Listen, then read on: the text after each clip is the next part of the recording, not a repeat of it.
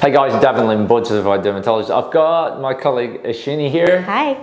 And today we'll be talking about spironolactone. So Ash, we prescribe Spiro, you prescribe it more than I do. Yes. What are your two main indications for it? So I normally prescribe it for acne and hair loss. Cool, cool. With acne, is there a particular type of acne that spironolactone, I guess, responds, or, or spironolactone is the optimal treatment for? Yeah, so I tend to uh, use it for hormonal acne and obviously in females and not in men. Okay, so with hormonal acne, what are the clinical features of hormonal acne which would you, you go, you know, that more than likely is hormone mediated as compared with the normal pimples, papules, cysts that we see in teenagers? Yeah, so usually in women over 25, um, we tend to attribute uh, hormone as hormonal causes as the main cause of acne. Uh, other features are acne that's around the chin or the location of the acne can be a clue as to if it's hormonal. Look, hormonal acne is just one of those things. It's a big misnomer because realistically, it's hormones that kind of drive all of acne, isn't it? So whether it be your IGF levels or your androgens or what have you. And most people, when they say, you know, you probably got hormonal acne, they, their reply back is, but my hormone levels are normal.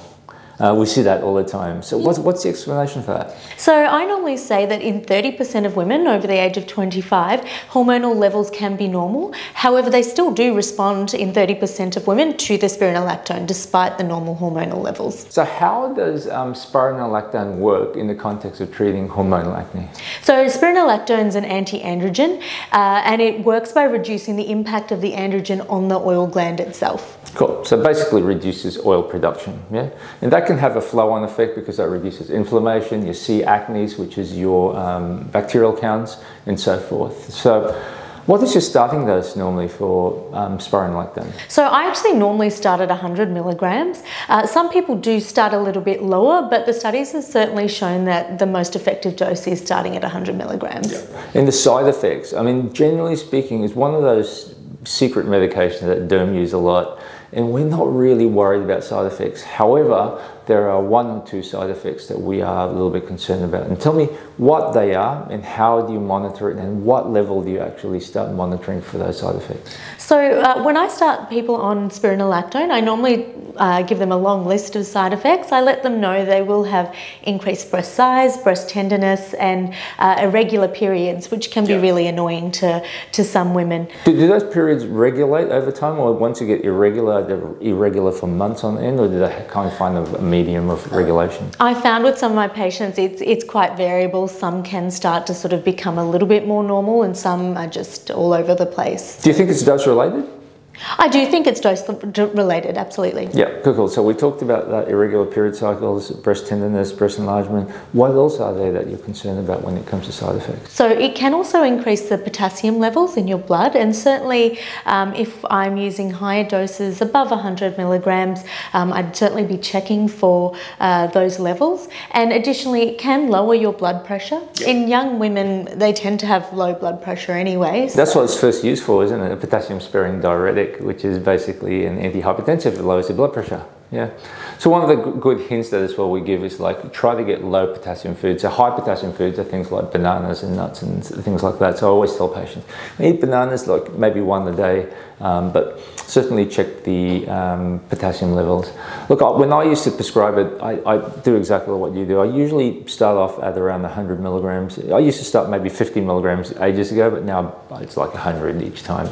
Uh, and I do check for um, potassium levels as well once it, I escalate it. How long does it take before it starts, before patients can expect to see a result? Because for all these types of medications, often there's a long wait time, isn't it? Yeah, so I normally say with spironolactone to come back in three months to assess the, the results. Um, certainly some people may not even start to see a really good result by the until the three month mark. Yep. And what combinations do you like? So you can prescribe spironolactone as a standalone, but do you mix that with, do you add a topical with that as well, or what do you normally do? Yeah, so I normally do add in topical treatments with spironolactone. I can use spironolactone in a number of ways. Sometimes I may treat someone with uh, isotretinoin first and then um, add in the spironolactone later, or I may just, if they don't want isotretinoin and just use spironolactone uh, with something like Differin gel or uh, another retinoid. Yeah, cool. So for patients who really have bad side effects, or side effects which are not really well tolerated to Accutane,